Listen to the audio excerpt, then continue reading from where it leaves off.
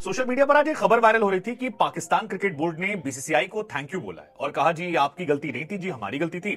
आ, visa हमने late से apply किया आप तो बड़े महान लोग हैं जिन्होंने हमें टाइम से दे दिया।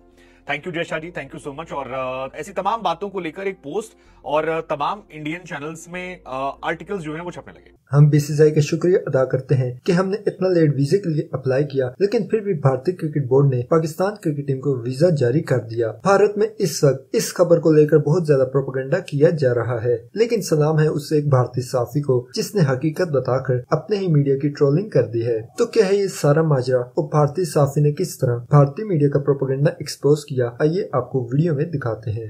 सोशल मीडिया पर आज एक खबर वायरल हो रही थी कि पाकिस्तान क्रिकेट बोर्ड ने बीसीसीआई को थैंक यू बोला है। और कहा जी आपकी गलती नहीं थी जी हमारी गलती थी। आ, वीज़ा हमने लेट से अप्लाई किया आप तो बड़े महान लोग हैं जिन्होंने हमें टाइम से दे दिया। Thank you Jay Shah ji thank you so much और ऐसी तमाम बातों को लेकर एक पोस्ट और तमाम इंडियन चैनल्स में आर्टिकल्स जो है वो छपने लगे। अब मुझे लगा यार अभी कल रात की तो बात थी यार कल रात को खबर पड़ रही थी कि पाकिस्तान ने आईसीसी में शिकायत की है और उसके बाद काफ़ी हंगामा हुआ। फिर जैसे तैसे उनके वीज़ा को क्लियर किया गया। फिर ये क्या मसला है? तो एक स्क्रीनशॉट निकल कर आया तमाम अखबारों ने डाला कि जी, पाकिस्तान क्रिकेट बोर्ड की तरफ़ से एक ऑफिशियल स्टेटमेंट जारी किया गया, जिसमें चार बड़ी बातें कही पहली बात पीसीबी ने वीज़ा अप्लाई करने में लेट किया था और नेसेसरी डॉक्यूमेंट जो थे वो देर से पहुँचाए थे। 19 तारीख को ये दिया गया था। फिर दूसरी लाइन लिखी थी कि despite being last to apply for visa we were promise by BCCI and Indian government की वीज़ा मिल जाएगा 25 तारीख तक और उन्होंने डिलीवर कर दिया। हम थैंक यू बोलना चाहते हैं जयशा जी को, हम थैंक यू बोलना चाहते हैं बीसीसीआई को जिन्होंने ये किया और हमारी रिक्वेस्ट है कि हमारे जो फालतू जर्नलिस्ट हैं, जो ऐसे मामलों को बढ़ाते हैं, आग पानी लगाते हैं, वो ऐसा ना करें।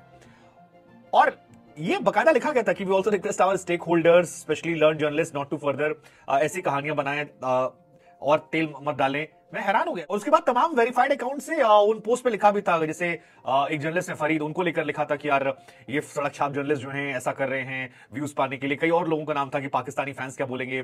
तमाम चीज़ें। मेरे को लगा कि वाकई में पॉसिबल और इंडिया में कई अखबारों में ऐसी खबरें छापी गई लेकिन फिर आ, थोड़ा सा जर्नलिस्टिक पॉइंट ऑफ़ व्यू मैंने लगाया मैंने कहा यार अगर ऐसी कोई खबर आई है तो पाकिस्तान क्रिकेट पेज के ऑफिशियल पेज से आई होगी। या वो तमाम स्पोर्ट्स हैंडल जो ऐसा करते हैं एंड देन आई रियलाइज़ कि ऐसा कहीं नहीं था। इसका मतलब ये कि ये खबर जो है ये फेक है। और एक फेक स्क्रीनशॉट किसी ने मज़े मज़े में बनाया। उसने उसको पोस्ट किया एडिट करके। और उसमें जिस तरह से नीचे लिखा भी है ends PCB statement on ICC cricket world cup 2023 और नीचे लिख दिया एंड और वो सर्कुलेट कर गया। बिना देखे बिना जाने बिना वेरीफाई किए इंडिया से लेकर पाकिस्तान में लोगों ने खबर चला दी। I mean is this really possible कि आपके लोग uh, नशा करके सोते हैं? जी मतलब पाकिस्तान क्रिकेट बोर्ड की तरफ़ से थैंक यू बोला जा रहा है। ये बहुत बड़ी खबर है, बहुत बड़ी खबर अगर ये होती और इस पे तो इंडियन फैंस पाकिस्तानी फैंस को या पाकिस्तानी जर्नलिस्ट को लपेट लेते, क्योंकि बहुत इशूज चल रहे हैं वीज़ा के, और तमाम लोग फ़ोन करें जी वीज़ा नहीं लग रहा है इशूज हो रहे हैं। हालाँकि ये बात भी सच है, पाकिस्तान थोड़ा लेट अप्लाई किया था, लेकिन पाकिस्तानी खुलकर कह रहा है, ये अपने आप में बड़ी पंगे वाली खबर है मैं एक्सेप्ट कर रहे हैं कि हमारे से पंगा है। पंगे से ज़्यादा ये लिखना कि हम बीसीसीआई और जैशा का थैंक यू करते हैं, जिनकी वजह से संभव हुआ, हम अपने साथियों से अपील करते हैं कि मनगढ़ कहानियों को मत बनाए, और भाई साहब ये शॉकिंग था मतलब मेरे लिए एक्चुअली शॉकिंग था।